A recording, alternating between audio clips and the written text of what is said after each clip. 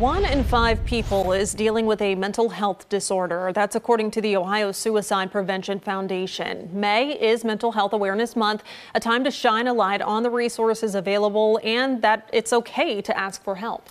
NBC4's Anna Hoffman is here to tell us about some of the help out there if you or someone you know is struggling.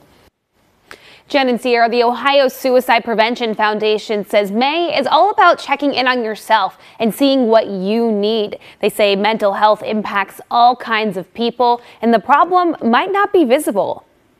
There is hope, there is help. Molly Mottram is the Associate Director of the Ohio Suicide Prevention Foundation. She says May is a time to have important conversations about mental health having a whole month being able to dedicate to um, checking in with yourself, highlighting the importance of resources. She says on average, five people in Ohio die by suicide every day. OSPF has people across the state training others on how to identify warning signs. She says their goal is to connect people struggling with the services that will best help their needs. She says one of the most convenient is the suicide call and text hotline 988. And they're a trained counselor um, for the 988 line, and they're going to walk through what, you know, even if it's even if you're having a, just a bad day and you need somebody to talk to, that person's on the other line to kind of talk you through that bad day. She says as of the end of 2023, 988 received 10 to 12,000 calls and texts a month in Ohio.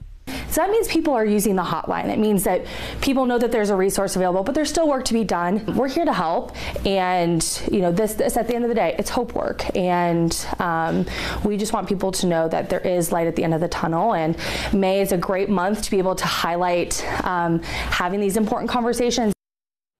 OSPF says from 2020 to 2022, more than 17,000 people in Ohio were trained in recognizing signs of suicidal thoughts and how to best respond. If you or someone you know is struggling, we've posted even more resources on our website, NBC4i.com. Jennifer. All right, Anna, thank you. And yes, if you are struggling, you are not alone. Do not suffer in silence. Right now on your screen, you're getting a look at some of those resources Anna mentioned. The number for the National Suicide Prevention Lifeline is 988. The Ohio Suicide Prevention Foundation is 614 429 1528.